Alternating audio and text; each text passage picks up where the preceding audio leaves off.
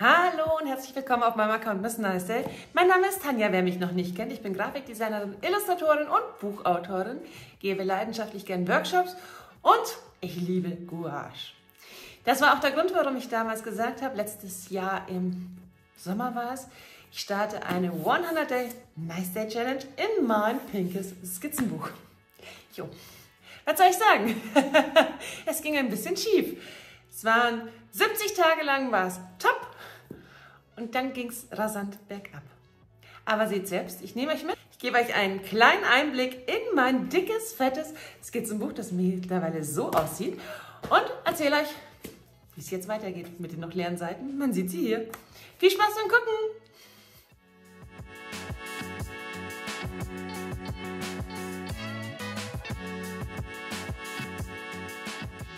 So, und dann schauen wir uns unser Skizzenbuch, mein Skizzenbuch mal näher an. Es ist mittlerweile dick und fett, weil die Seiten sich wellen durch so viel Farbe und Wasser.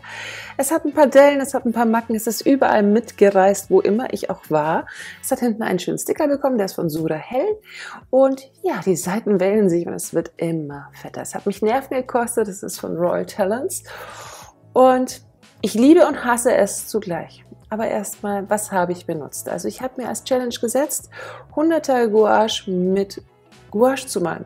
Tada! Dafür brauche ich sehr viele Pinsel, einen Kasten voller Gouache-Farben, die zwölf Standardfarben, die ich irgendwann mal aussuchen durfte. Und ja, Wasser, Muße, Liebe, Leidenschaft, Durchsetzungsvermögen, nicht Durchsetzung, Durchhaltevermögen. Ja, und sehr viel Zeit, sehr, sehr viel Zeit. Aber gucken wir einfach mal rein. Ich habe einen kleinen Tick. Ich kann die erste Seite nie malen. ich gebe es ganz ehrlich zu, die mache ich ganz zum Schluss. Ich habe Angst, dass ich es verkacke. Aber wie ist die Challenge eigentlich gestartet? Ich habe mir vorgenommen, ich möchte gerne ein Skizzenbuch führen. Ich möchte mehr Shorts und mehr Reels machen. Ich möchte mehr Gouache lernen und habe mir dafür ein paar Themen ausgesucht. Habe aber auch ganz schnell gemerkt, dass das Thema auf Instagram ganz gut ankommt und dass alle dieselben Ansichten haben. Also ich habe mir Themen gesucht, die ich in einer Stunde ungefähr schaffe und Themen, die ich sonst nicht male, weil ich selten vollflächig male. Und da ich so eine geile Followerschaft auf Instagram habe, haben alle gemeint, sie sind dabei. Und dann war der Stress schon mal groß. Welche Themen nehme ich denn? Also habe ich sie alle gefragt, auf welche Themen habt ihr Bock und habe einfach mal Nachrichten gesammelt, auf was sie Bock haben. Und es kam alles. Von Avocados bis Affen, Drachen, Muscheln, Meer, es kam eine ganz große Liste an Motiven, die alle unbedingt beim Malen waren. Ich habe sie alle zusammengepackt, ich habe sie aufgeschrieben, ich habe sie gegliedert und habe dann alle mitgenommen. Wöchentlich gab es auf Instagram einmal das Motto, was wird die Woche bringen? Also, also 14 Wochen lang haben wir zusammen gemalt. Jo, wir haben angefangen mit verschiedenen Motiven wie Boote, ne, Papageien. Wir haben Vögelchen gemalt. Wir haben Disteln gemalt. Pflanzen ist nämlich nicht so mein großes Steckenpferd, da tue ich mich schwer. Also habe ich mir mal Pflanzen ausgesucht, die ich noch nie gemalt habe und die ich einfach gerne mal malen würde. Ich habe Paulchen Panther reingepackt, ich habe Blätter reingepackt, ich habe verschiedenste Techniken auch ausprobiert, um Reels und Shorts zu machen. Also deswegen für alle hier, ich habe hier auf YouTube bei meinen Shorts zu jedem Motiv, das in diesem Skizzenbuch ist, auch einmal ein Short gemacht. Ich war auf Reisen, es ist mit mir mitgewandert. Die Themen passen zu meinem Alltag, was passiert ist. Sommerzeit, natürlich sitzt man am Strand, am Meer, wo auch immer. Ich war in Leer und da habe ich allen davon erzählt, dass ich das mache. Und dann kam irgendwann die Inspiration von Joanna, mal ein Eichhörnchen mit Hula Hoop. Why not? Ich habe teilweise versucht, Workshop-Motive auch mit ins Skizzenbuch zu packen, damit ich nicht einen Knoten im Kopf irgendwann bekomme und verschiedene Motivsuche. Deswegen hier die Puffins und ein paar Pflanzen dazu. Dann habe ich versucht, die Seiten mal ein bisschen einheitlich zu machen, also einen grünen Cupcake. Ich habe dann auch mal versucht, zwei Themen auf eine Seite als ein Motiv zu machen, um ein bisschen zu mogeln und nicht jeden Tag zeichnen zu müssen. Dann hat mich der Ehrgeiz wieder gepackt und ich dachte mir, okay, nee, kannst du nicht machen. Jetzt wieder Gas geben, zusammenreißen und dann kam mein Lieblingsort am Ammersee, das ist das schöne Stegen, es war Vollmondzeit. Also immer saisonale Themen, alles, was einen gerade so bewegt und was vor allem auch euch gerade so bewegt hat. Manche Seiten sind mittlerweile, es ist ein Skizzenbuch, ein bisschen schmutzig, da hat die Seite von der anderen Seite natürlich durchgedrückt oder halt, es war noch nicht trocken. Und dann gibt es natürlich Seiten wie diese hier, auf die ich absolut null stolz bin. Bei den Ballons fehlt was, da habe ich so eine Animation im Reel gemacht. Dafür mache ich die wieder ganz gern. Einmal Löwi-Pöwi und das Thema Dschungel. einmal zwei Themen auf einer Seite. Und wie ich schon gesagt habe, ich war natürlich nicht allein bei dieser Challenge. Es ist krass. Ich habe die 100 Nice Days als Hashtag auf Instagram, also wer mal schauen möchte. Es gibt über 1000 Beiträge dazu. Ihr habt gemalt, ihr habt Ideen gehabt, ihr habt noch nicht mal die Ideen gemacht, die ich gemacht habe, sondern zum Thema einfach mitgemalt. Und ich muss sagen, ich bin so stolz auf all meine Follower, weil es einfach geil war. Und dafür echt mal ein riesengroßes Dankeschön. Ihr seid der Knaller. Danke, danke, danke. Vor allem auch danke fürs Mitfieber, fürs Themenfinden, fürs Inspirieren, fürs Motivieren. Es gab irgendwann die Zeit, da haben mich meine Follower, glaube ich, mehr motiviert durchzuhalten, als ich es selber geschafft habe. Naja, wir sind im Herbst angekommen. Das sieht man an den Motiven. Wir sind bei Fliegenpilzen, Kastanien. Wir sind oh, ich liebe den Herbst. Es gibt so schöne Motive. Das Motiv ist entstanden bei einem Livestream. Da habe ich dann auch so ein bisschen gesagt, okay, dann male ich halt das Motiv im Livestream. Es gab Gemüse, es gab Drachen. Drachen fand ich lustig. Da konnte man interpretieren zweierlei. Also habe ich beide drin. Es gab Halloween-Themen. Und was hier jetzt auffällt, gleich, ihr werdet es sehen. Hier sind wir bei Halloween. Da steht auch die Zahl drin, wo wir sind, bei welchem Tag. Und Schwuppdiwupp, wir sind ganz woanders. Wir sind bei Bären und Paprikern. Wir sind bei der 70 angekommen.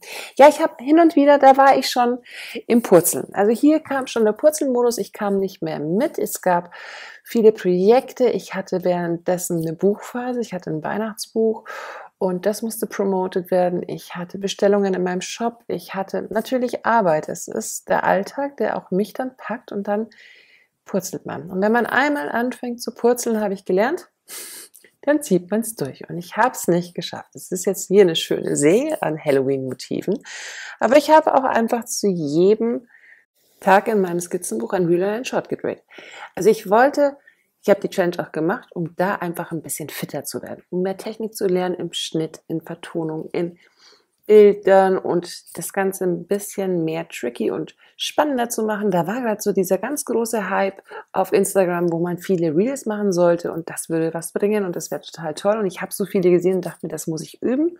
Und das war quasi mein Übungsprojekt. Ich wollte alles, was ich nicht kann, üben. Und das dauert natürlich, wenn man es nicht kann purzelt man dann irgendwann. Und so eine Hexe zum Beispiel, die male ich halt nicht in der Stunde. Ich habe mich an ganz vielen Punkten ein bisschen zu sehr verbummelt, zu sehr verfriemelt, Sachen ausprobiert. Ich hatte unendlich viel Spaß, nur ich habe halt dann auch nicht so viel geschafft, wie ich haben wollte. Und ich glaube, in dem Modus war ich schon zwei Wochen hinterher.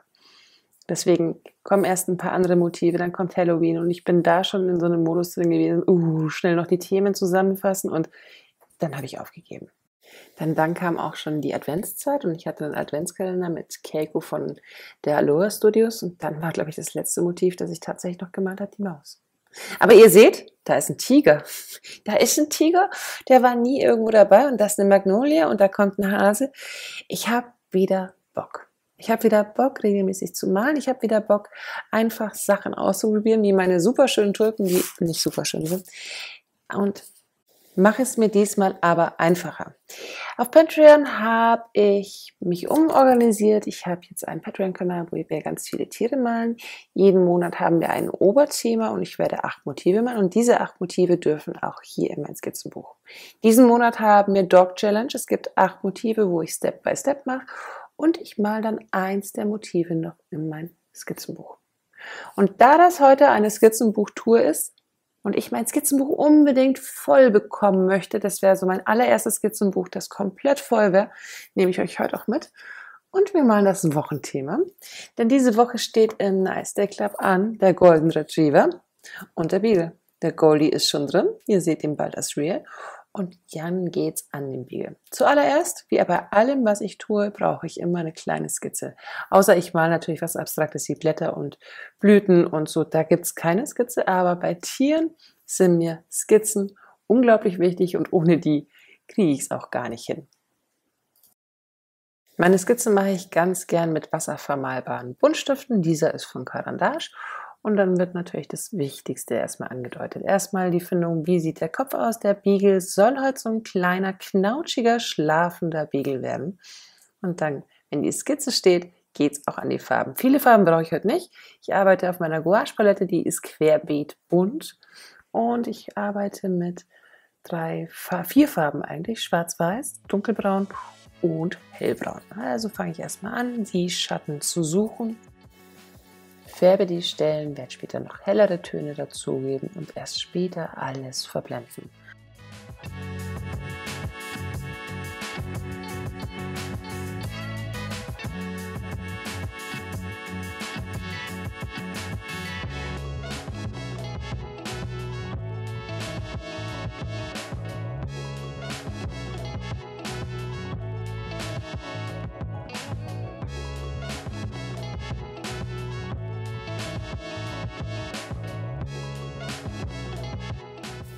Der Kopf steht dann so weit es geht, dann geht es ein bisschen an die Schattierungen von Nase und Schnute und so ganz langsam, ganz, ganz langsam kann man erkennen, wo die Reise hingeht. Also wir haben die zwei Pfoten, die nach vorne ragen. Das Köpfchen ist im Vordergrund, man sieht es. Hier kommen noch so ein paar Pfoten hin. Schon mal die ersten Tatzen leicht andeuten. Die einzelnen Zehen, erste Schatten, und man sieht einfach jetzt schon, man sieht die Striche von dem vorgemalten Stift einfach nicht. Ich mag den Style. Ich habe eh am allerliebsten, wenn man bei mir die Skizze noch ein bisschen mit durchsieht. Ich möchte nicht perfekt arbeiten. Mir geht es einfach darum, dass man sieht, dass es gemalt ist in meinem Skizzenbuch. Das darf so sein. Und das ist auch in meinen ganzen Guides und im Buch ganz oft erkennbar. Denn ich komme aus dem Grafikdesign, also ich habe Grafikdesign studiert, Kommunikationsdesign und ich weiß, wie viel man perfekt machen kann. Man kann ganz viel machen, man kann ganz viel perfekt machen. Und ich liebe mittlerweile das Sketchige, das Gemalte, das Lockere, das Unperfekte. Und deswegen darf das auch alles da sein. So, ein bisschen schwer habe ich mich getan mit den Augen. Das war schon sehr knautschig. Ich habe mir natürlich für den Beagle, ich kann keinen Beagle aus dem Kopf malen, der total knautschig irgendwo liegt. Ich habe mir dafür irgendwo eine Fotovorlage gesucht. Die hatte ich, glaube ich, bei entweder FreePic gefunden oder bei Adobe Stock, weiß ich nicht mehr. Aber da hatte ich mir eine Vorlage irgendwann mal gescreenshottet und den dann quasi anfangs abgemalt. Jetzt schaue ich immer nur so halbwegs mal drauf. So, mit Weiß kommen dann oben die Schatten drauf. Dafür liebe ich ja Gouache. Schicht für Schicht. Man kann immer nichts kaputt machen. Man kann überall nochmal drüber malen. Was ich sagen muss, ich habe ganz am Anfang mit diesem Skizzenbuch, das hat extrem glatte Seiten und sehr dünne Seiten. Also hier ist immer, glaube ich, müsste ich jetzt lügen oder googeln, ich habe das Buch jetzt schon seit über einem Jahr, glaube ich. Ähm, hat, glaube ich, 90 oder 110 Gramm die Seiten. Und sie haben einen leichten Gelbstich und sie sind sehr glatt. Also eigentlich nicht so wirklich geeignet zum Malen. Dadurch, dass ich jetzt aber schon 120 Motive in dieses Buch gemalt habe, stört es mich mittlerweile nicht mehr. Am Anfang habe ich super schwer getan. Die Farben trocknen ganz anders als auf Aquarellpapier. Viel später. Sie lösen sich sehr viel schneller, da sie nicht ins Papier so wirklich eindringen. Und mir fällt jetzt auf, wie easy peasy ich mittlerweile drauf mal. Erstens habe ich meinen Malstil leicht verändert. Ich mal ein bisschen lockerer mittlerweile.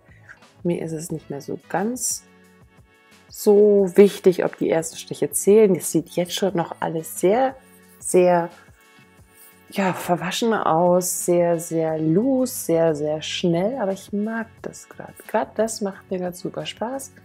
Und wenn ich merke, dass ich irgendwo gar nicht klarkomme, nehme ich einfach Materialien mir noch zur Hand, wie zum Beispiel, ich glaube, bei irgendeinem Motiv, ach, mit der Magnolia habe ich, glaube ich, von der Leinwand rosa übrig gehabt und habe den kompletten Hintergrund mit Acryl gemalt. War mir dann egal und damit Gouache da oben drauf. Also ich bin da zu mir selbst auch nicht mehr so streng. Ich bin auch zu mir selbst lockerer. Und seitdem ich das so jetzt handhabe, komme ich echt gut klar und ich habe wieder mega viel Spaß, täglich ein Reel zu machen, täglich ein Short zu machen, die Videos aufzunehmen. Und ich freue mich schon immer darauf, wenn ich Skizzenbuch sehe und mir denke, geil, kannst du wieder Motiv malen. Noch schnell irgendwas abarbeiten, dann kannst du wieder Motiv malen. Juhu! Und das ist eigentlich das Gute, dass ich vorher die 100 Nice Days so ein bisschen abgebrochen habe, es dann habe auslaufen lassen, still und heimlich. Ich habe allen noch die Themen gesagt und habe meine nicht mehr gepostet, weil ich sie einfach auch nie fertig gemacht habe. Sorry dafür, Leute. Aber dafür haben wir heute einen Beagle fertig. Ein Goldie und ein Beagle. Wieder zwei Seiten mehr und es sind noch so viele Seiten in meinem Skizzenbuch übrig. Hier habe ich mal, ich weiß gar nicht mehr, wo es war, Dala-Pferd, ich glaube für einen Livestream habe ich es mal benutzt. Und sonst ist wirklich bis auf eins. Ich habe mir von jemandem, den ich sehr gern habe und der was ganz anderes macht als ich, also es ist Juro, ihr findet das Juro, der macht Lettering Art und der hat mir in leer in das Skizzenbuch die letzte Seite beschriftet. Das war für mich so, danke, danke, schreib du was auf die letzte Seite, dann weiß ich, wenn ich deins sehe, bin ich fertig. Dann ist mein Skizzenbuch voll. Und da freue ich mich tierisch drauf. Mal ein Skizzenbuch zu haben, das komplett von vorn bis hin voll ist. Das war meine Geschichte zu den 100 Nice Days und wie es weitergeht mit meinem Buch.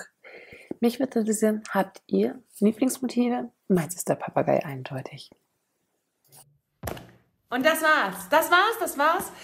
Ich werde weitermalen, ich werde fleißig weitermalen. Ich würde auch jederzeit so eine Challenge neu starten. Ich glaube, ich würde sie diesmal entspannter sehen. Vielleicht fange ich einfach einen Monat früher an, damit ich mit allen super motivierten Followern auf Instagram mithalten kann. Denn ich habe es ja nicht, es ist nicht gescheitert, weil ich keinen Bock hatte. Es ist einfach nur gescheitert, weil ich ins Strauchen kam, weil es halt einfach im Leben Tage gibt, wo man nicht malen kann. Und deswegen sage ich es auch ganz ehrlich und so offen. Macht euch nicht zu viel Stress. Malen und kreativ sein, es ist ein Hobby. Ihr tut es für euch und bleibt locker mit allem, was ihr tut. Bleibt auf alle Fälle kreativ und nochmal ein mega riesengroßes Danke vor allem an meine ganze Instagram-Community, die mich so unterstützt haben. Ich habe sie auch gestern alle gefragt, ob ich die Bilder verwenden kann und alle haben sofort gesagt, oh ja, mach doch, mach doch, mach doch und sich entschuldigt, dass sie es auch nicht geschafft haben. Ladies and Gentlemen, ich habe es auch nicht geschafft und das ist völlig okay. Wir haben tolle Motive gezaubert und wir hatten eine mega geile Zeit und ich bin so stolz auf ein so mega fettes Buch. Und jetzt freue ich mich auf die ganzen Patreon-Motive in meinem Skizzenbuch und hoffe, dass es bis Weihnachten voll ist. Hoffe ich ganz schwer. Vielleicht schaffe ich es ja bis dahin. Dann habe ich eineinhalb Jahre an einem Skizzenbuch gearbeitet. Finde, es ist ein tolles Timing. so, bis dahin wünsche ich euch ein mega schönes Wochenende. Wer mir noch nicht folgt, es gibt jeden Freitag ein neues Video. Es gibt regelmäßig Shorts aus meinem Skizzenbuch. Also von dem her einmal abonnieren drücken. Ansonsten Daumen nach oben. Ich würde mich freuen, wenn ihr einen Daumen hinterlasst.